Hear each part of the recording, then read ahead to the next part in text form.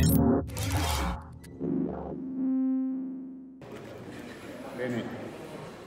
direi di cominciare così. Sì, sì. Eh, io volevo come prima cosa rivolgere un ringraziamento a tutti quelli che hanno accolto l'invito a unirsi della celebrazione civile e religiosa della giornata della memoria della Shoah e della deportazione. Una cerimonia che quest'anno avviene in un modo molto diverso rispetto a quello degli anni passati, ma non per questo in modo meno intenso e partecipato. Ringrazio innanzitutto il sindaco di Acqui Lorenzo Ruffini che con la sua presenza istituzionale rappresenta la volontà di partecipazione di tutta la nostra città. Ringrazio il rappresentante della comunità ebraica di Genova, Francesco Orsi, che ormai è un amico per noi, e il vescovo di e Luigi Testore che celebreranno la comune preghiera ebraica e cristiana che concluderà questo nostro incontro. Ringrazio infine i tecnici che con la loro competenza e il loro generoso lavoro rendono possibile la partecipazione a questa iniziativa anche a distanza. Ricordate che senza conoscenza e responsabilità questo potrebbe accadere di nuovo queste sono le parole con cui la senatrice Liliana Segre ha concluso il suo intervento sulla giornata della memoria della Shoah e della deportazione. Un commento pubblicato in questi giorni su, molto, su molti quotidiani. A mio parere, quelle di Liliana Segre che ho appena letto sono parole terribili. Già ci pare impossibile che la Shoah e la deportazione siano potute succedere e che siano potute succedere in paesi di grande tradizione culturale, nella patria di Dante, in quella di Goethe e di Bach, e che siano potute succedere in paesi di lunga e affermata tradizione cristiana. Il monito della senatrice Segre, a mio parere, l'ha comunque preso molto sul serio. Per certi aspetti, comunque, mi conforta il fatto che fin dal 2001 il comitato formato da associazioni da cittadini acquesi che si è occupato di promuovere insieme alle amministrazioni comunali la celebrazione della giornata della memoria ha posto la conoscenza e la responsabilità come valori fondamentali che dovevano anno dopo anno guidare la sua proposta ai concittadini.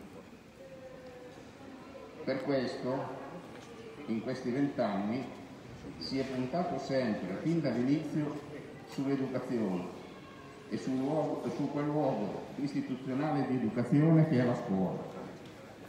In essa si sono promossi anche in questo anno scolastico difficile, straordinariamente difficile, corsi di aggiornamento per insegnanti, organizzati con determinazione da un gruppo di insegnanti guidati dal professor Vittorio Europei, in ogni ordine e grado di scuola acquesi, sulla didattica della Shoah e sulla didattica della deportazione. E accanto a questi si sono proposte decine e decine di iniziative, mostre, rappresentazioni teatrali, concerti, conferenze, presentazioni di libri, rivolte direttamente agli studenti.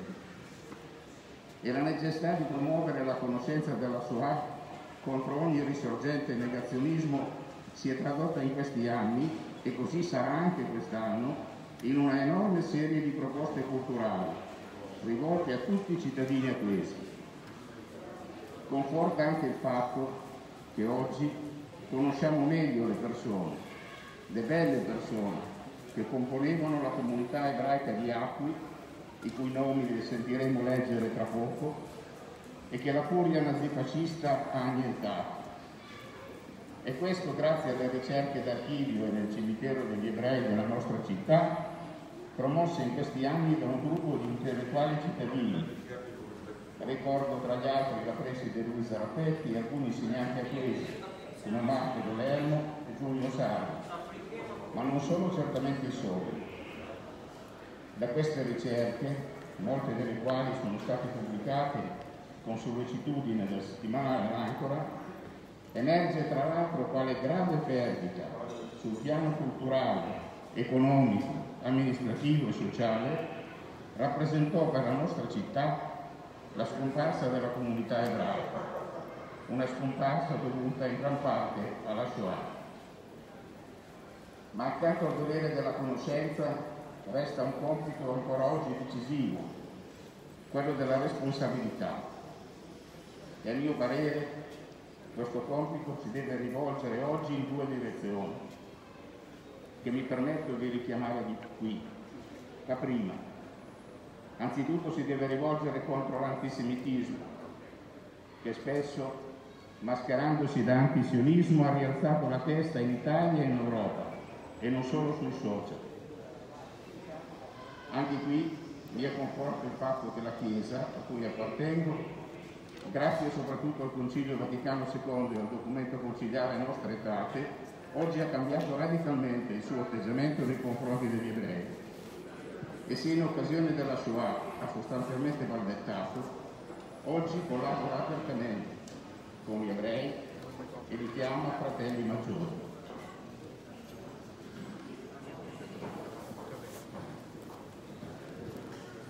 Mi piace ricordare qui che qualche giorno fa, esattamente il 18 gennaio, la diocesi di Acqui ha promosso nell'ambito della giornata dello sviluppo del dialogo con gli ebrei un incontro di riflessione e di preghiera aperto a tutti su un libro biblico, sul libro biblico del Coele, incontro guidato dal rabbino capo della comunità ebraica di Genova, il dottor Giuseppe Mumuliano, e con la partecipazione e il contributo del nostro vescovo.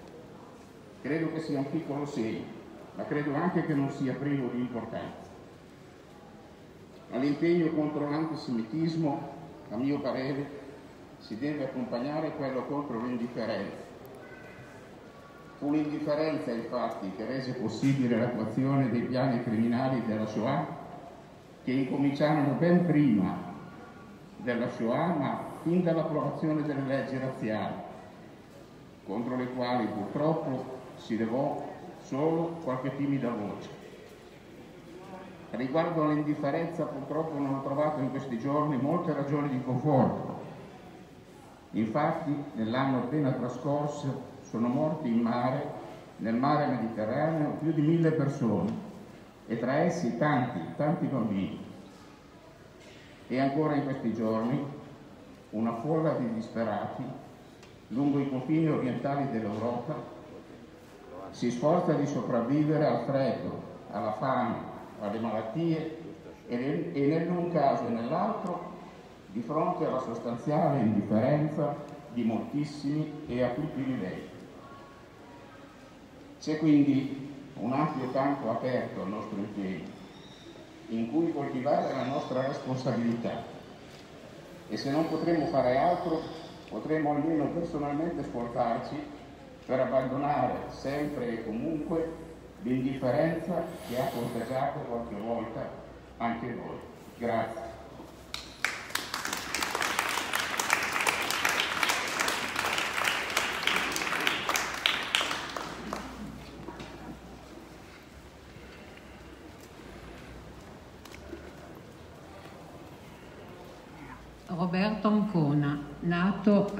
Acqui il 19 gennaio 1906 e qui residente in via Saracco 2.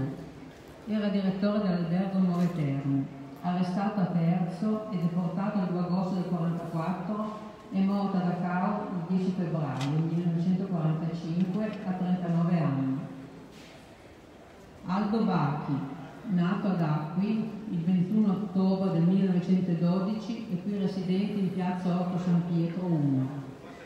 Faceva il parrucchiere, era sposato con una figlia albina.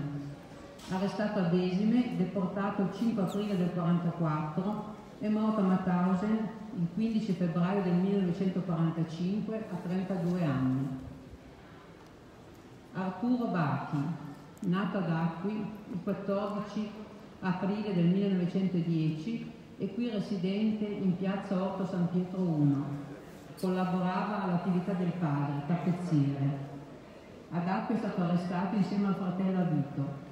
Deportato il 30 gennaio del 1944 è stato ucciso all'arrivo ad Auschwitz il 6 febbraio 1944, a 33 anni. Avito Bacchi, nato ad Acqui il 26 settembre del 1920 e qui residente in piazza 8 San Pietro 1. Faceva cameriere. È stato arrestato ad Acqui, deportato il 30 gennaio del 1944 e ucciso ad Auschwitz nell'ottobre del 1944 aveva 24 anni. Michele Bacchi, nato ad Acqui il 12 luglio del 1867, il papà di Aldo, Arturo e Avito. Faceva il tappezziere, arrestato nell'ospedale di Acqui dove era ricoverato, è stato deportato il 30 gennaio del 1944 con i figli Avito e Arturo e ucciso all'arrivo ad Auschwitz il 6 febbraio del 1944 a 76 anni. Elisa De Benedetti, nata a Torino il 17 gennaio del 1965 ed abitante ad Acqui in salita Duomo 7. Era vedova, arrestata ad Acqui e deportata il 30 gennaio del 1944 è stata uccisa all'arrivo ad Auschwitz il 6 febbraio del 1944, a 79 anni. Ernesto De Benedetti, era una maestra, nata ad Acqui il 7 aprile del 1856, e qui residente in corso Vittorio Emanuele 11. Arrestata ad Acqui e deportata il 30 gennaio del 1944, è stata uccisa dall'Elba ad Auschwitz il 6 febbraio del 1944, a 87 anni. Giacomo De Benedetti, nato ad Acqui il 19 luglio del 1900 arrestato a Torino e deportato il 30 gennaio 1944. È morto a 44 anni, in luogo ignoto, il 30 gennaio 1945. Dino Davide Spina, nato ad Acqui il 20 marzo 1911. Era dottore commercialista e abitava in via Garibaldi 9. Arrestato a Torino e deportato il 5 aprile 1944, è morto a Buchenwald il 28 febbraio 1945, a 33 anni. Smeralda Dina, prozia di Dino Davide, nata ad Acque Terme il 26 luglio 1855, dove abitava in via Carducci 5. È stata arrestata ad Acqui, deportata al 30 gennaio 1944 e uccisa all'arrivo ad Auschwitz il 6 febbraio 1944 a 88 anni. Salomon Mosè David Dina, nato a Casale l'11 aprile 1872, cameriere, arrestato ad Acqui e deportato il 30 gennaio 1944, è stato ucciso all'arrivo ad Auschwitz il 6 febbraio 1944, a 71 anni. Marietta Levi, nata a Casale il 23 luglio 1876, arrestata con marito Salomon Mosè Diner ad Acqui e deportata ad Auschwitz il 30 gennaio 1944. È stata uccisa all'arrivo al campo il 6 febbraio 1944 a 67 anni. Anita Foa, nata a Venezia il 24 giugno 1886, arrestata a Bisone, deportata il 6 dicembre 1943, è stata uccisa cinque giorni dopo all'arrivo ad Auschwitz a 47 anni. Olga Foa, nata ad Acqui il 4 maggio 1889 e cugina dei fratelli Bacchi. È stata arrestata a Torino e deportata il 26 giugno 1944, quando aveva 45 anni. Rimangono sconosciuti il luogo e la data della sua morte.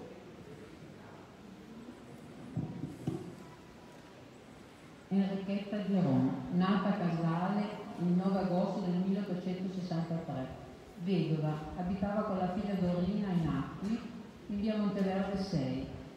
Arrestata ad Acqui e deportata il 30 gennaio del 1944, è morta durante il trasporto a 80 anni. Dorino Polendi, nata ad Acqui il 23 settembre del 1886, Qui è stata arrestata insieme alla mamma Enrichetta e deportata il 30 gennaio del 1944 quando aveva 57 anni. è morta in luoghi data sconosciuti. Aronne Nino Levi, nato ad Acqui, alla Cascina Montagnola, il 25 dicembre del 1872. È stato arrestato a Genova, dove gestiva un negozio di stoffa. Deportato ad Auschwitz il 6 dicembre del 1943, è stato ucciso cinque giorni dopo l'arrivo al campo. Stava per compiere 71 anni. Emma Cavaglione, nata a Genova il 23 dicembre del 1884.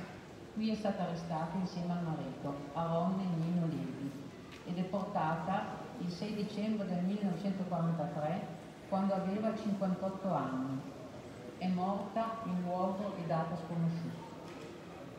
Anita Levi, nata il 28 novembre 1887, arrestata ad Asti, deportata il 30 gennaio del 1944 quando aveva 56 anni e deceduta in luoghi data sconosciuti. Emma Levi era la sorella maggiore di Anita, nata ad Acqui il 15 ottobre del 1878, arrestata a Torino deportata il 5 aprile del 1944, è stata uccisa da Reed in Lager il 10 aprile del 1944 a 65 anni. Cesare Israel Levi, nato ad Acqui il 3 giugno 1872, è stato arrestato a Torino, deportato il 5 aprile del 1944 e ucciso ad Auschwitz cinque giorni dopo l'arrivo a 71 anni.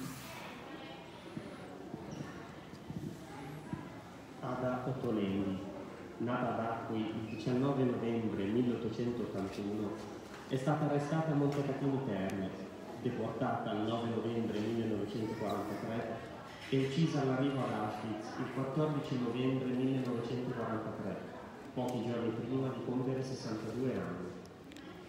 Emma Ottolenghi, nata ad Acqui l'1 dicembre 1866, è stata arrestata a Sanremo, deportata il 6 dicembre 1943 e uccisa all'arrivo ad Auschwitz cinque giorni dopo, a 77 anni.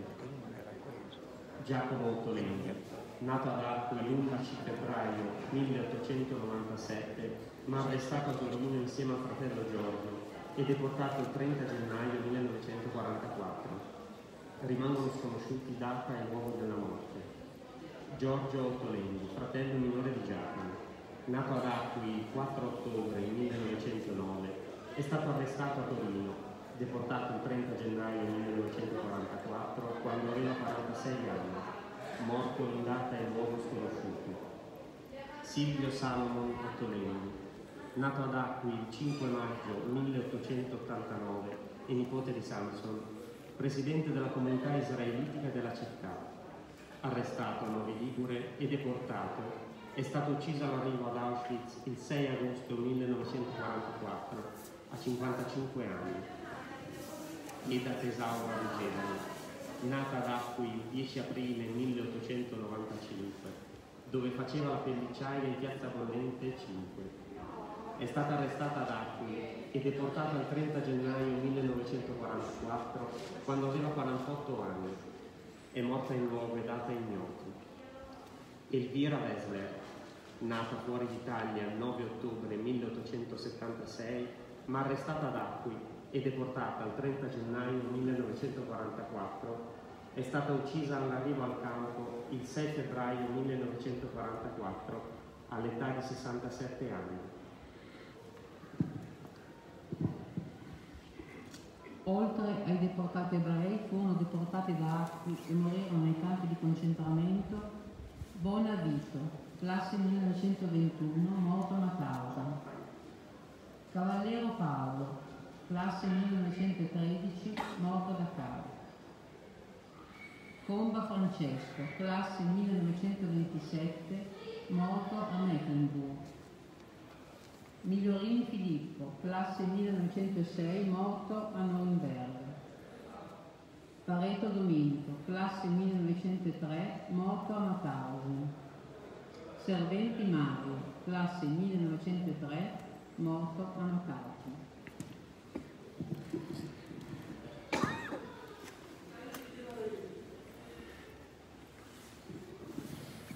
Buongiorno a tutte e tutti e grazie mille a tutti coloro che con noi qui partecipano a questa edizione, diciamo, purtroppo ridotta eh, di questo giorno della memoria. Ringrazio in particolare Sua Eccellenza il Vescovo, il comandante della compagnia dei Carabinieri, e ringrazio l'onorevole Fornaro che non può essere qui per le note vicende che si stanno eh, verificando a Roma, ringrazio i sindaci del territorio che ho l'orgoglio eh, di rappresentare, poiché è un territorio che eh, nella storia ha espresso numerosi giusti tra le nazioni.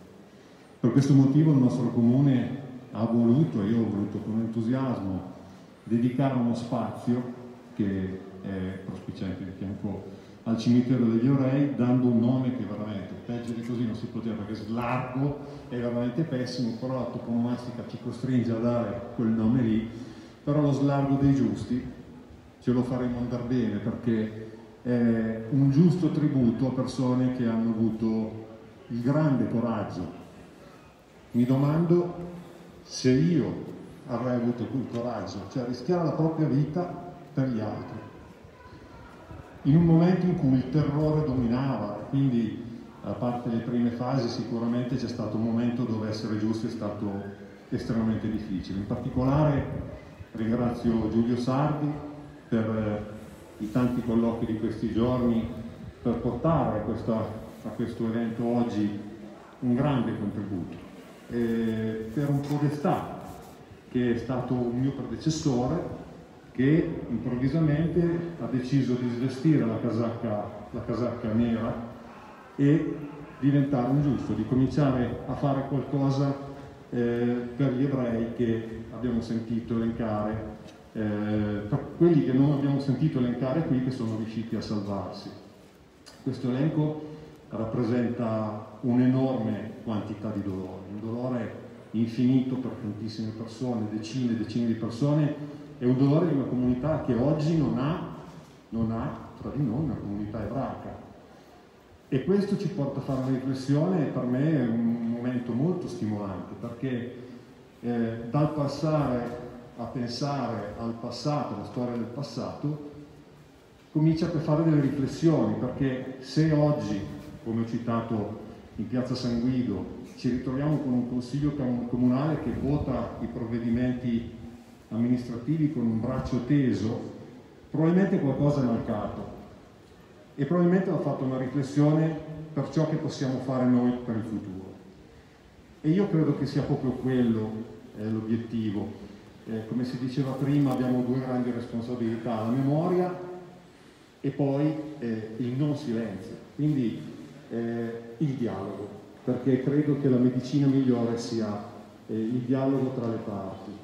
E per questo motivo, in particolare per il fatto che, non avendo una comunità eh, viva e vivente qui tra di noi, abbiamo un cimitero ebraico che dobbiamo ringraziare immensamente il comitato acquese che ha mantenuto, che ha in qualche modo mantenuto vivo e che con grandissima energia e fatica ha portato fin qui oggi eh, così com'è.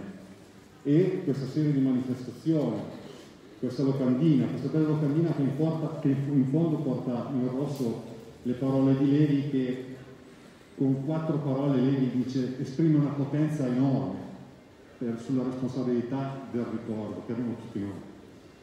Quindi voglio ringraziare il comitato al quale chiedo umilmente che io ho un gap culturale che in qualche modo voglio anche colmare perché io non vengo da un mondo legato alla cultura, però eh, sento una storia che è particolarmente interessante, intrigante, complicata, difficile.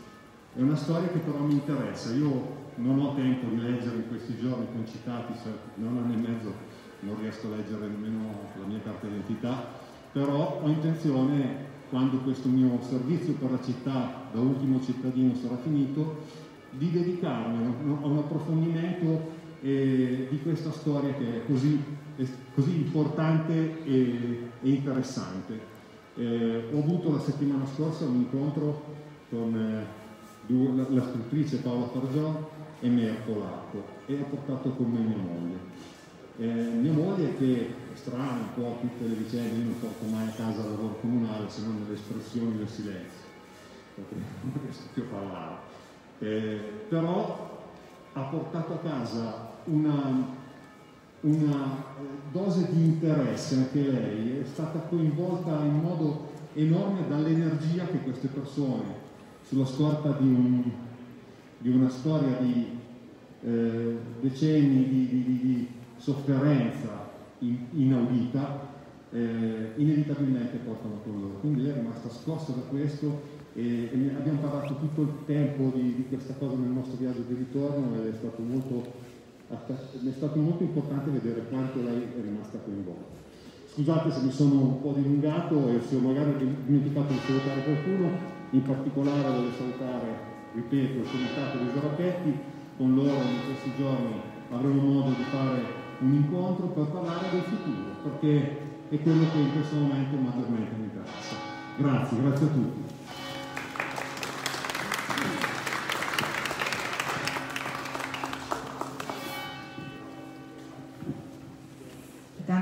Ringrazio tutti per questa presenza eh, che eh, in un certo modo ci incoraggia ad andare avanti.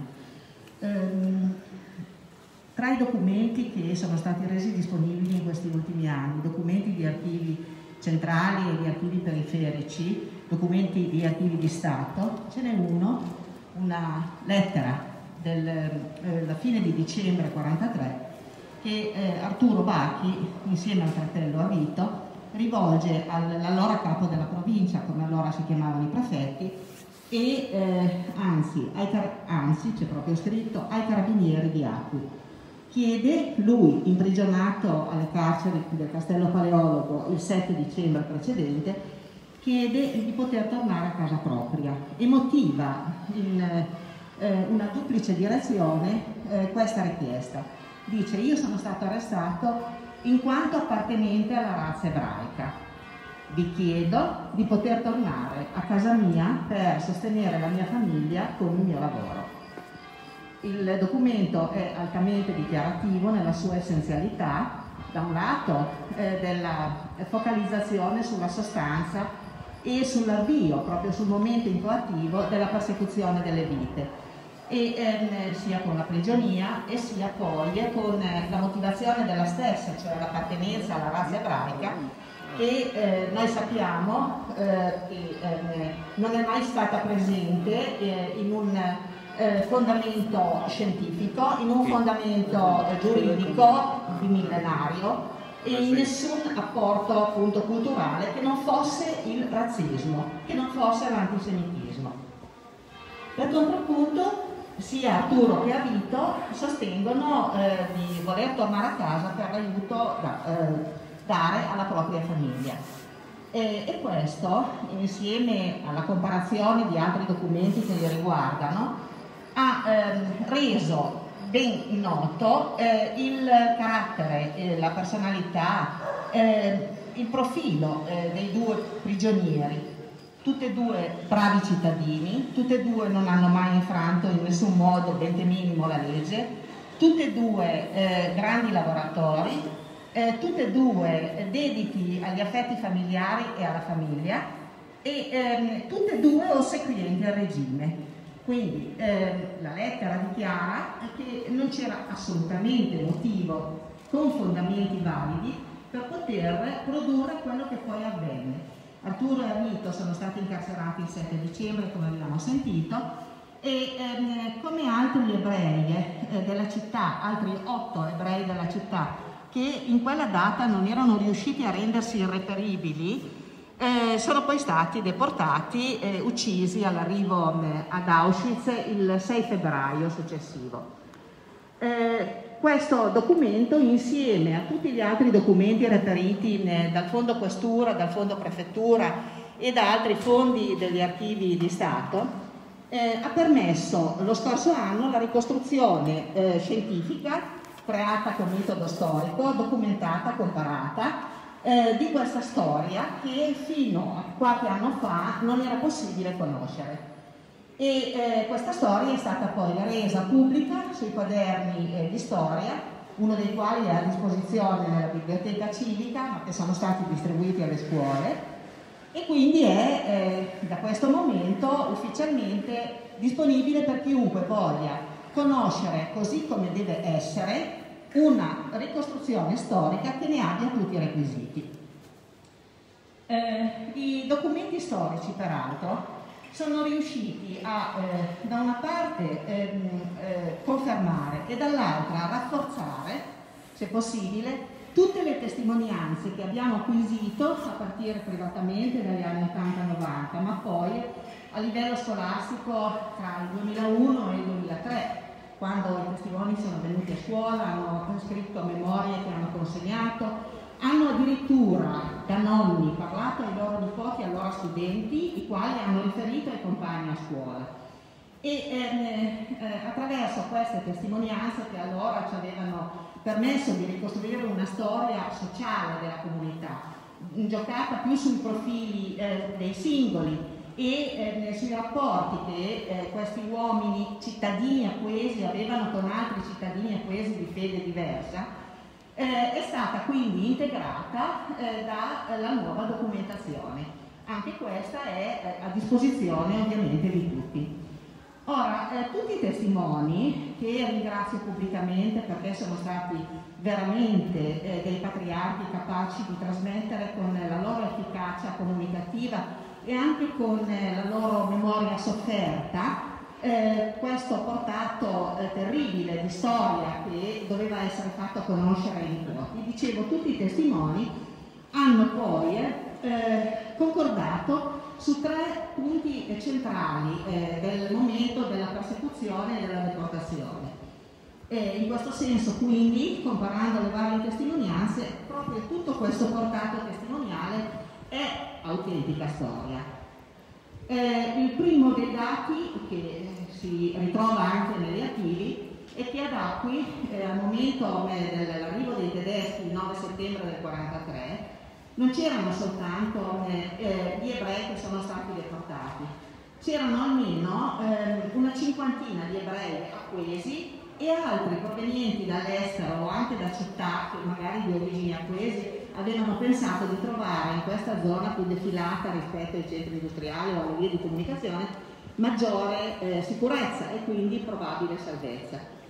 Ora, il secondo punto che tutti i testimoni eh, concordano eh, nel far ricordare è che eh, tutti questi eh, cittadini eh, di fede mosaica che sono stati salvati sono stati salvati con non l'azione di un singolo, non sono mai stati singoli a salvarli, sono state una fortissima catena di solidarietà messa in atto eh, da molti cittadini che eh, possiamo ricondurre eh, sinteticamente a due cordate, magari anche miste tra di loro. Una eh, di, di gente del popolo, di gente comune, prevalentemente di contadini, che come disse Monsignor Galliano, da testimone, eh, erano sinceramente addolorati per quanto succedeva e già avevano avuto difficoltà nel quinquennio precedente ad accettare eh, proprio eh, le persecuzioni, le ostilità, le forme varie messe in atto per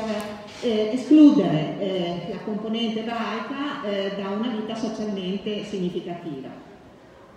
Ebbene, tutti questi testimoni hanno concordato nel sostenere che eh, questa prima cordata eh, è poi stata eh, in qualche modo integrata eh, con una cordata gestita da religiosi, in un certo senso coordinati dal regista che era segretario del vescovo ed era anche stato l'incaricato di trattare eh, diplomaticamente sia con i partigiani sia con i tedeschi per salvare il maggior numero di vite possibili e fare scambi di prigionieri Ebbene, eh, questo, eh, questa seconda cordata determinò eh, l'accoglienza in istituti religiosi non soltanto di questa zona, penso ad esempio alle due eh, signore Dina, madre e figlia, che furono eh, riparate eh, dalle suore di Saluzzo, che loro, stesso, loro stesse conoscevano da tempo. Ma penso alle suore di Ovada, alle suore di Molare, eh, che eh, ricoveravano le donne, come disse Monsignor Gagliano, eh, più, in un certo senso più relativamente facili da eh, proteggere eh, ma altri istituti religiosi che eh, nascosero invece negli uomini con enorme abnegazione, direi anche con azioni che sfiorano la temerarietà, tanto coraggiose appunto erano.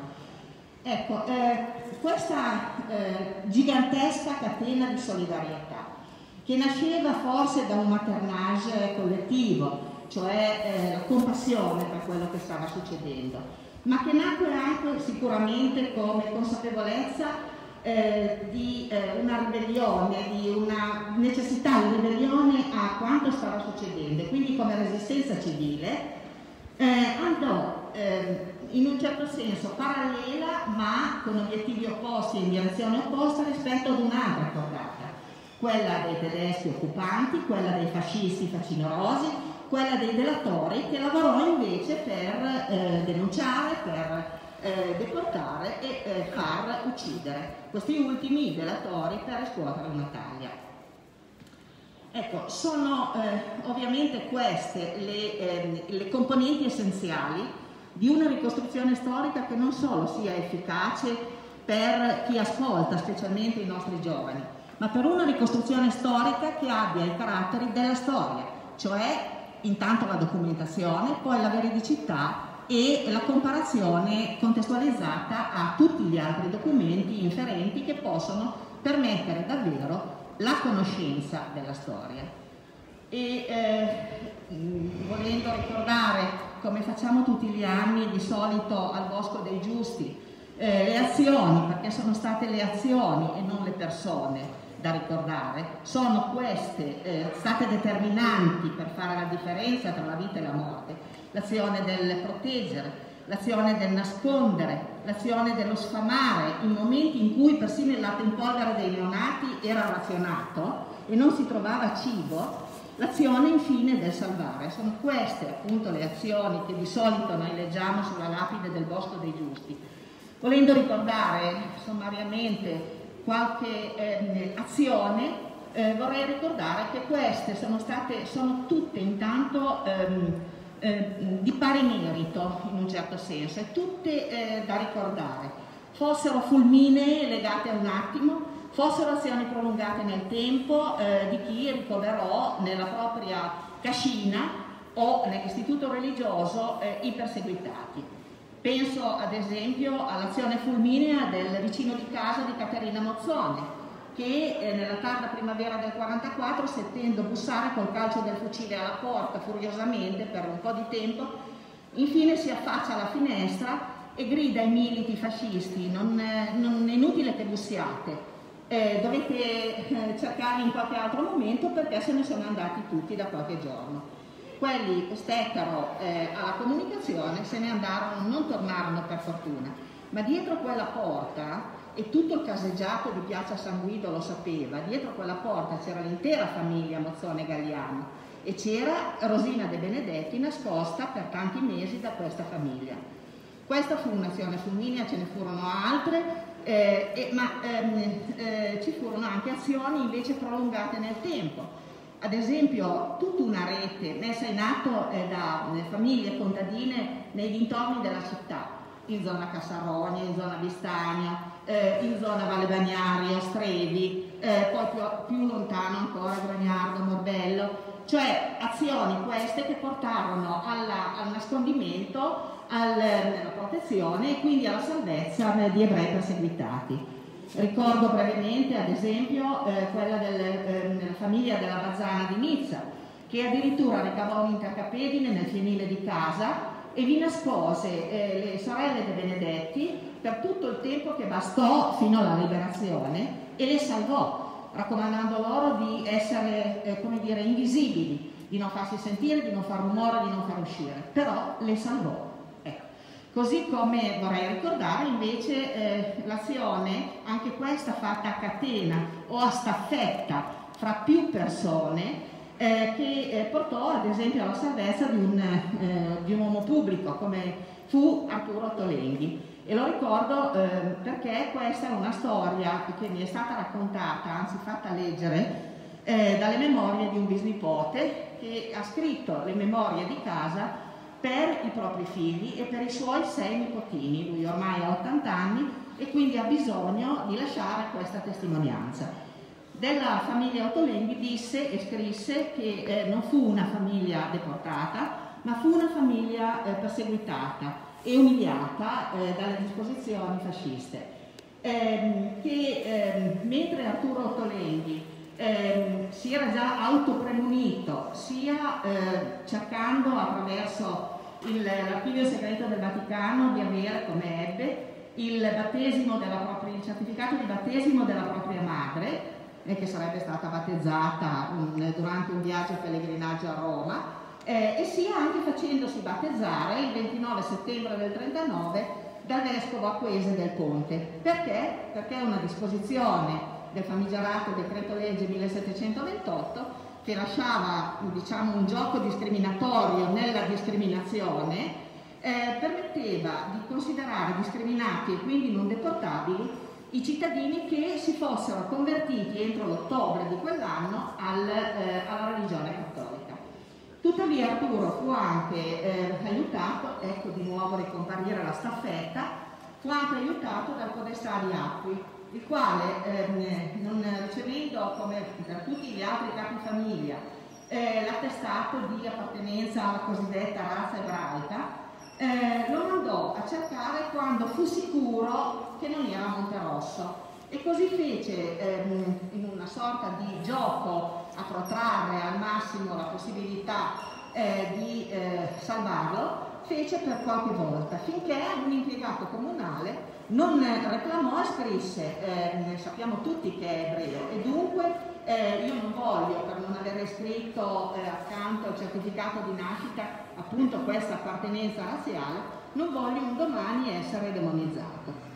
Ehm, di fatto il Podestà scriveva alla questura, ehm, che lo sollecitava eh, in merito, scriveva cercatelo, fatelo cercare presso Podestà di Bogliasco, di Pieve Ligure, di Bardonecchia, perché eh, Arturo Tolenghi sta in queste località gran parte dell'anno. E in questo modo lo salvò, se non che un giorno che era da qui fu poi oggetto di delazione, catturato, ehm, fu imprigionato e in questo caso, ecco un'altra staffetta, eh, intervenne Monsignor Galliano a trasferirlo, a farlo trasferire eh, nell'infermeria dell'ospedale militare. Sarebbe poi stata la famiglia Wedekind, tedesca, cattolica, industriale e filonazista, a intervenire per la sua liberazione.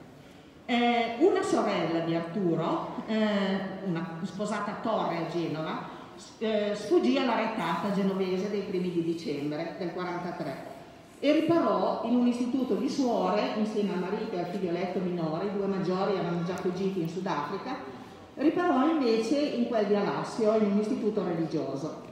Ebbene, ecco quando dicevo che le azioni sono tutte comprimarie per la salvezza, e siano esse di un attimo, siano esse prolungate nel tempo.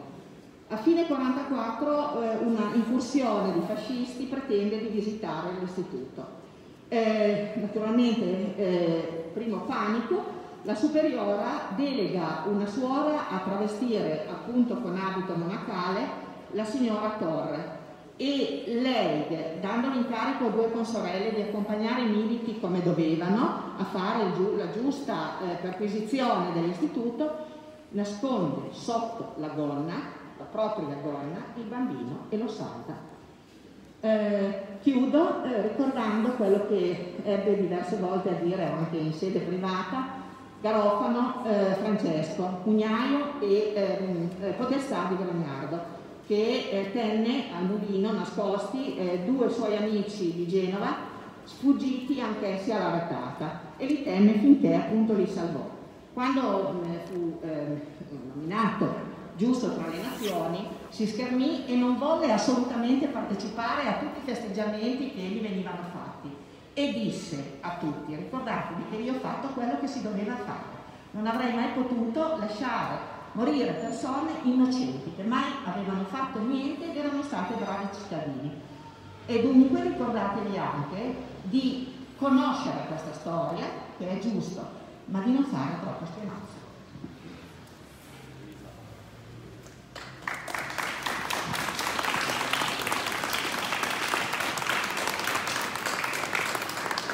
Mentre abbiamo il collegamento con il signor Orsi di Genova, eh, la professoressa Panaro ci legge un'ultima testimonianza e poi passiamo alla parte religiosa.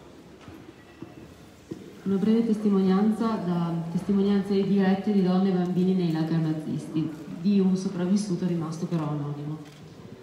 Tutto era silenzioso come in un acquario e come in certe scene di sogni. Ci saremmo attesi qualcosa di più apocalittico. Sembravano, i soldati SS, semplici agenti d'ordine. Era sconcertante e disarmante. Qualcuno osò chiedere dei bagagli. Risposero, bagagli dopo. Qualche altro non voleva lasciare la moglie. Dissero, dopo di nuovo insieme. Molte madri non volevano separarsi dai figli. Dissero, bene, bene, stare con figlio. Sempre con la pacata sicurezza di chi non fa che il suo ufficio di ogni giorno. Ma Renzo indugiò un istante di troppo a salutare Francesca, che era la sua fidanzata, e allora con un solo colpo in pieno viso lo stesero a terra. Era il loro ufficio di ogni giorno. In meno di dieci minuti tutti noi uomini validi fummo radunati in un gruppo. Quello che accade degli altri, delle donne, dei bambini, dei vecchi, noi non lo potemmo stabilire, né allora né dopo. La notte li inghiottì, puramente e semplicemente. Oggi però sappiamo che in quella scelta rapida e sommaria di ognuno di noi era stato giudicato se potesse, se potesse o no lavorare utilmente per il Reich Sappiamo che nei campi rispettivamente di Monovisbun e Birkenau non entrarono del nostro convoglio che 96 uomini e 29 donne e che di tutti gli altri, in numero di più di 500, non uno era vivo due giorni più tardi. Sappiamo anche che non sempre questo pur tenue principio di discriminazione inabili e inabili fu seguito e che successivamente fu, fu adottato spesso il sistema più semplice di aprire entrambe le portiere dei vagoni, senza avvertimenti né istruzioni ai nuovi arrivati. Entravano in campo quelli che il caso faceva scendere da un lato del convoglio, andavano in gas gli altri. Così morì Emilia, che aveva tre anni, poiché ai tedeschi appariva palese la necessità storica di mettere a morte i bambini degli ebrei. Emilia, figlia dell'ingegnere Aldo Levi di Milano, che era una bambina curiosa, ambiziosa, allegra, intelligente, alla quale durante il viaggio nel vagone gremito il padre e la madre erano riusciti a fare il bagno in un mastello di zinco, in acqua tiepida, che il degenere macchinista tedesco aveva consentito a spillare dalla locomotiva, che ci trascinava tutti alla morte. Scomparvero così, in un istante, a tradimento, le nostre donne, i nostri genitori, i nostri figli. Quasi nessuno ebbe modo di salutarli, li vedemmo un po' di tempo come una massa oscura dall'altra estremità della banchina, poi non vedemmo più nulla.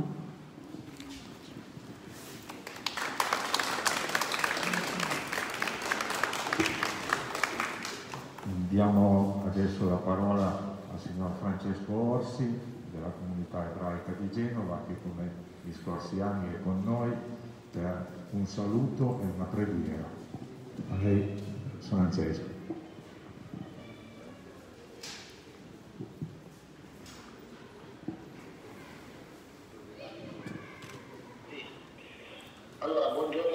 Tutti, saluto tutti i presenti, mi dispiace di non poter essere qui con voi e naturalmente saluto le autorità civili, le religiose, eh, se ci sono anche militari, eh, in particolare la professoressa Rapetti, il professor Borgazza, Vittorio, Paolo che hanno permesso anche questo collegamento. E prima di intonare la preghiera eh, del, dei deportati e dei morti per la Shoah, eh, voglio dire qualcosa, qualche parola. Eh, ieri, durante la sessione del sabato alla sinagoga, abbiamo letto la parasha di Beshalach, che descrive l'uscita dall'Egitto l'inseguimento degli egiziani, il passaggio del Mar Rosso, la canti del mare, la manna e lo scontro con l'acerrimo nemico dei figli di Israele, chiamato Amalek, il popolo degli Amaleciti. La scorsa settimana abbiamo avuto due occasioni e due giorni speciali. uno è il giorno della memoria e il giorno dopo abbiamo celebrato la festa del Capodanno degli alberi, tutti Shabbat, il quindicesimo giorno del mese lunare di Shabbat. Come ho detto, il nemico, il popolo di Amalek, è il nemico per eccellenza per Israele, rappresentava il male assoluto, in quanto desiderava annientare Israele. Nella storia del popolo ebraico, tutti i nemici che hanno desiderato sterminare Israele sono incarnazioni di Amalek. Ultimo esempio ne è il nazismo, che ha portato via la vita a 6 milioni di ebrei, e non soltanto a 6 milioni di ebrei, ma anche a zingari, alienati mentali, persone con gravi problemi e naturalmente anche omosessuali e eh, testimoni di Geova. Oltre alla morte fisica, durante la Shoah il popolo ha vissuto su se stesso la morte dell'identità, il venire considerati come cittadini di serie B. I nazisti definivano gli ebrei Untermenschen, sottospecie di uomini. Però in questi passi che raccontano la guerra tra Israele e Amalek c'è la storia di Mosè. Mosè sale su una collina, alza le sue braccia e aiutato anche da Aronne e da Fur. Quando Mosè alza le braccia, Israele vince, quando le abbassa, perde la battaglia. Ma l'epilogo per Israele è la vittoria. Al capitolo 17 dell'Esodo, versetto 14, è scritto, prima lo leggerò in ebraico e poi in italiano, Vayomer Hashem el Moshe, Ktov Zot, Zikaron Vasefer Besim Bernei Yoshua, Ki Macho Emche e Zecher Amalek mitachat Shamayim. L'Eterno disse a Mosè, scrivi questo come memoriale nel libro della Torah e imprimilo nelle orecchie di Giosuè, perché io cancellerò del tutto la memoria di Amalek da sotto i cieli. La memoria di Amalek, il nazismo, non è sparito, è addormentato il male assoluto per il momento è visto, ma a quale prezzo? Il giorno successivo abbiamo festeggiato il Capodanno degli alberi. In questo periodo le prime gemme spuntano sugli alberi di Israele, anche grazie al loro clima, che non è il vostro e neanche il mio. Nella cantica del mare, che viene intonata da Miriam, sorella di Mosè, e dalle donne, un verso dice ed è Esodo 15, 17, 18. Prima da leggere in ebraico e poi in italiano. Vetteviemmo, vitaemmo, bearna halatecha, makon le shiftecha, pa'alta Hashem. Mikdash Hashem konenu yadecha, Hashem imloch leolam vaed.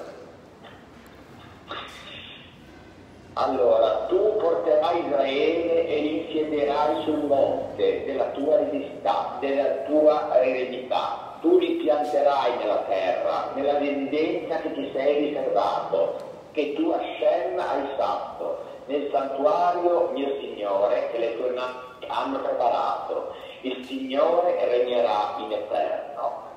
La promessa del Signore si è avverata e il popolo viene condotto e piantato nella terra scelta dal Signore, così come viene piantato un albero, una pianta. Israele è una realtà che ha cambiato la storia del Medio Oriente, facendo fiorire il deserto, difendendosi e ora anche stipulando trattati di pace con vari paesi arabi.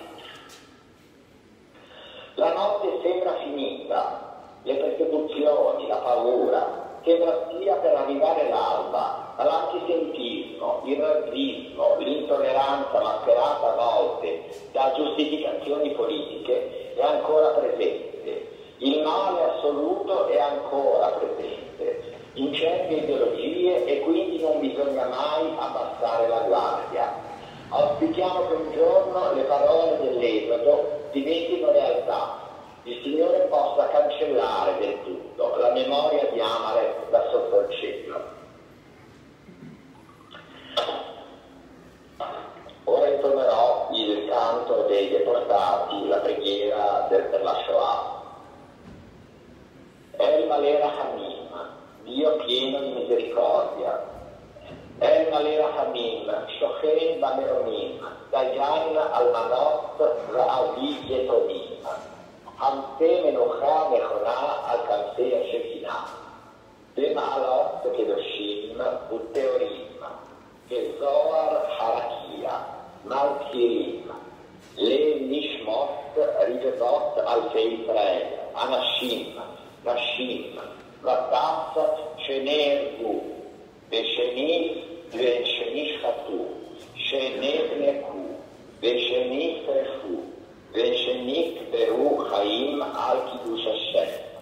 כולם קידושים וטהורים, ובהם גאונים וצדיקים, ארזי הלבנון ואדירי התורה.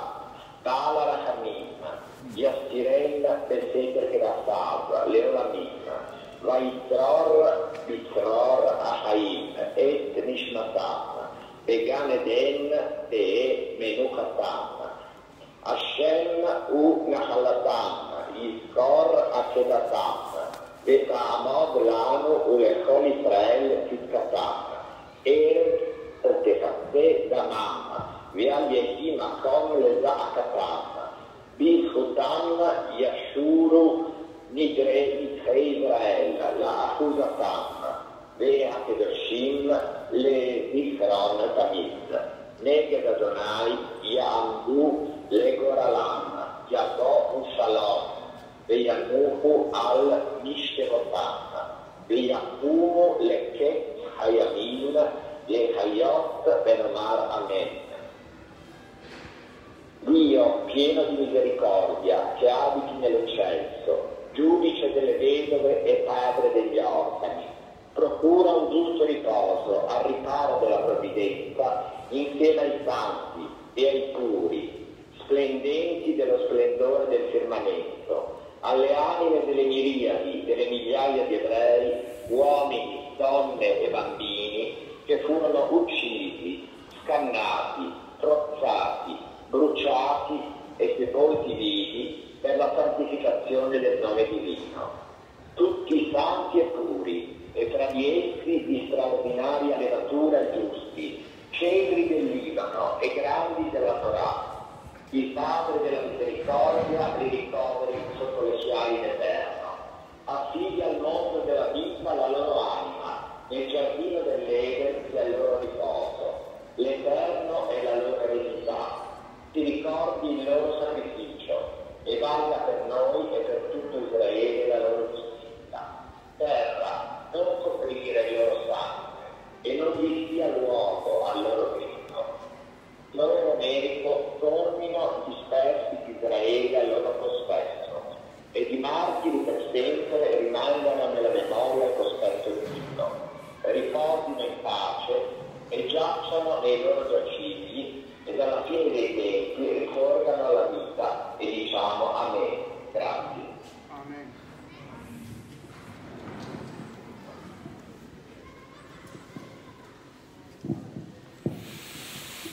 Mi unisco anch'io alla preghiera che appena è stata recitata.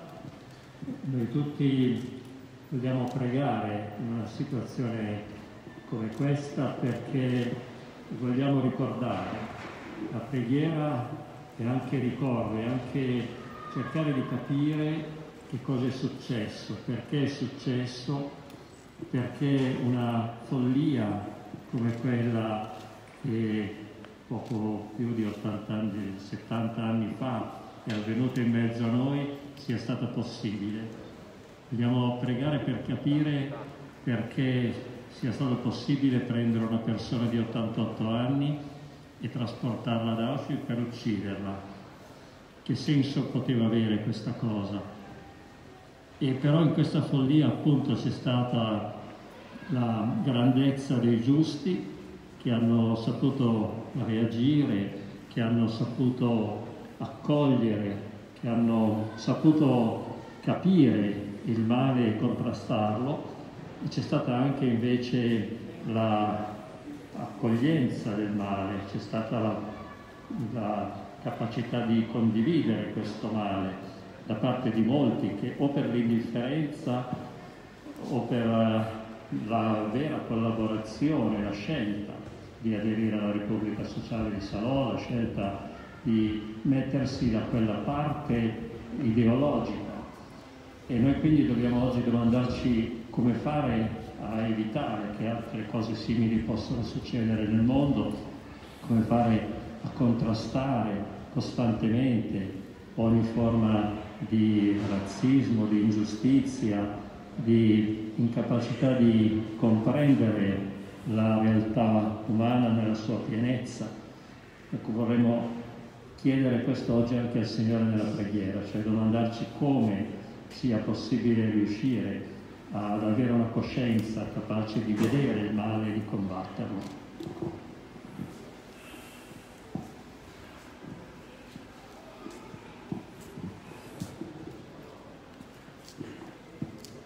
Bene, direi che ci possiamo prendere qualche secondo di silenzio per dare seguito a quello che ci ha appena detto il nostro vescovo e poi un piccolo avviso.